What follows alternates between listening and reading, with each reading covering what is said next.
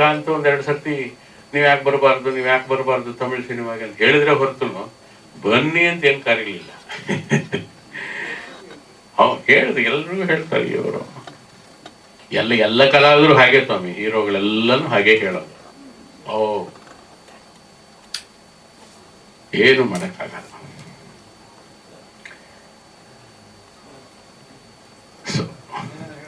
ನೀವೆಲ್ಲ ಕೇಳಿದ್ರೆ ನಾನು ಹೇಳ್ತೀನಿ. ಇನ್ನೇನು ನನ್ನ ಇದರದೆಲ್ಲ ಹೇಳಿದ್ದೀನಿ.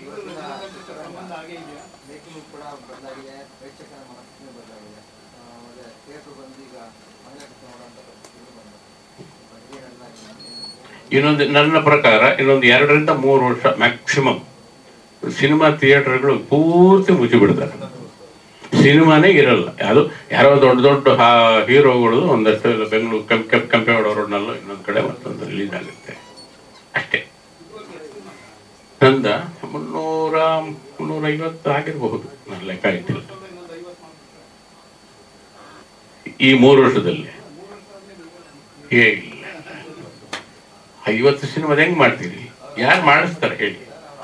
ಈಗ ರೆಗ್ಯುಲರ್ ಪ್ರೊಡ್ಯೂಸರ್ಸ್ ಸಿನಿಮಾ ತೆಗಿತಾ ಇಲ್ಲ. ಎಲ್ಲ ಹೊಸಬರ ಪ್ರೊಡ್ಯೂಸರ್ಸ್ ಬರ್ತಾ ಇರೋದು.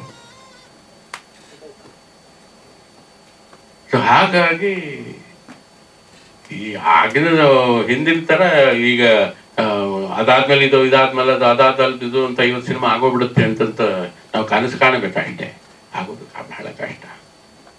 ಈಗ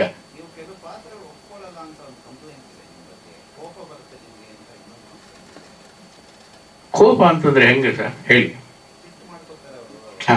ಮಾತಾಡಕ್ಕೆ ಭಯ ಆಗುತ್ತೆ ಅಂತ ಕೆಲವರು ಹೇಳ್ತಾರೆ. ಮಾತಾಡೋದೇ ಇಲ್ವೇ? ಮಾತಾಡಿದ್ರೆ ತಾನೆ ಹೌದು, ನಾನು ಭಾಷೆಗೆ ಬಹಳ ಒತ್ತು ಕೊಡ್ತೀನಿ ಸರ್. ಮೊದಲು ಮೊದಲು ಹೇಳ್ತಿದ್ದೆ ಡೈರೆಕ್ಟರ್ಗೆ, ರೀ, ಈ ಇದು ವ್ಯಾಕರಣ ಸರಿ ಇಲ್ಲ ರೀ, ಸೆಂಟೆನ್ಸ್ ಸರಿ ಇಲ್ಲ ರೀ, ನೋಡ್ರಿ, ನಾನು, ಅವಾಗ ಎಷ್ಟೋ ಜನ ಬೈಕೊಳ್ಳೋರು ಏ, ಏನಪ್ಪ ನಮಗೆ ಹೇಳ್ಕೊಳಕ್ ಬರ್ತಾನೆ, ಅಂತ. ಆಮೇಲೆ ಬಿಟ್ಬಿಟ್ಟೆ ನಮ್ಗೆ ಯಾಕೆ ಬೇಕು ಅಂತಂತ ಹೇಳ್ಬಿಟ್ಟು ಅದೇನಾಗುತ್ತೆ ಗೊತ್ತಾ? ಈಗ ನೀವು ಡೈರೆಕ್ಷನ್ ಮಾಡಿರ್ತಾರ, ನಿಮ್ ಡೈರೆಕ್ಷನ್ ನೀವೇನೋ ತಪ್ಪು ಮಾಡಿರ್ತೀರ, ಅದನ್ನ ನಾನು ಹೇಳ್ತೀನಿ. ನೀವು ಅವ್ರಿಗೆ ಹೇಳ್ತೀರಾ, ಅವ್ರು ಇನ್ನೂರು ವಾಸು ಹೇಳ್ತಾರೆ, ವಾಸು ವೆಂಕಟೇಶ್ ಹೇಳ್ತಾರೆ, ವೆಂಕಟೇಶ್ ಇನ್ನೊಬ್ರು ಹೇಳ್ತಾರೆ, ಹೀಗೆ. ಮೌತ್ ಪಬ್ಲಿಸಿಟಿ ಆಗಿ ಆಗಿ ಆಗಿ, ಅಯ್ಯೋ, ಅವ್ರು ಬಹಳ ಹಿಂಸೆನಪ್ಪ, ಬಹಳ ಬೇಡಪ್ಪ. ಇದೆ. ಬರಲ್ಲ. ಏನ್ ಮಾಡ್ತೀರಿ? ಹಾ. ಇಲ್ಲ ಇಲ್ಲ ಹೇಳ್ತಾರೆ, ಹೇಳೋದಿಕ್ಕೆ ಏನಂತೆ ನನ್ನ ಯೋಗ್ಯತೆಗೆ ಎಷ್ಟು ಕೊಡಬಹುದು ಹರೀಶ್ ಹೇಳ್ರಿ ನೀವು? ಅಲ್ಲಲ್ಲ ನಾವೇನು ದಿನಕ್ಕೆ ಐದು ಲಕ್ಷ ರೂಪಾಯಿ ಕೇಳಲಿಲ್ಲ, ಮೂರು ಲಕ್ಷ ರೂಪಾಯಿ ಕೇಳಲಿಲ್ಲ, ಎರಡು ಲಕ್ಷ ರೂಪಾಯಿ ಕೇಳಲಿಲ್ಲ. ನನ್ನ ಯೋಗ್ಯತೆಗೆ ನೀವು ಎಷ್ಟು ಕೊಡಬಹುದು ಹೇಳಿ. ಮತ್ತೆ. ಇಲ್ಲಪ್ಪ. ದೇವರಾಣಿಗೆ ಎಲ್ಲೂ ಕೇಳಿಲ್ಲ.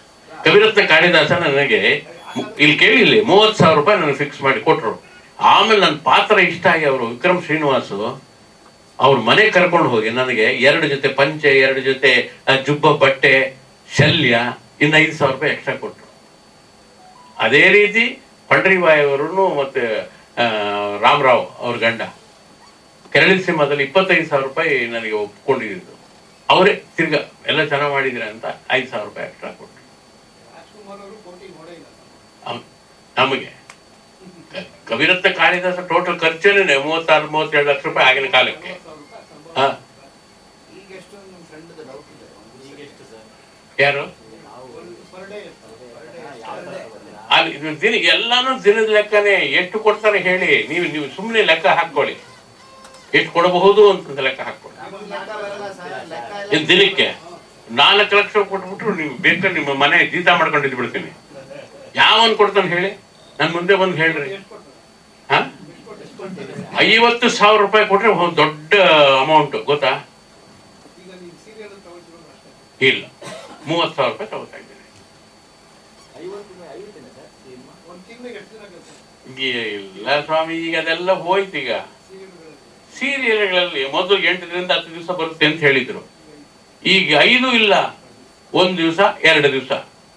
ಒಂದ್ ತಿಂಗಳು ಒಂದೂವರೆ ತಿಂಗಳು ಕರೀತಾರೆ. ಏನ್ ಮಾಡಬೇಕು ಹೇಳಿ? ನಡೀತಾ ಇದೆ. ನಡೀತಾ ಇದೆ. ಹಿಂಗೆ. ಇಲ್ಲ ಎಲ್ಲೂ ಸ- ಎಲ್ಲೂ ಸಾಲಾಗಿಲ್ಲ ಅದರೆಲ್ಲ ಏನು ಒಂದು ಒಂದು ಕಡೆನೂ ಸಾಲ ಮಾಡಿ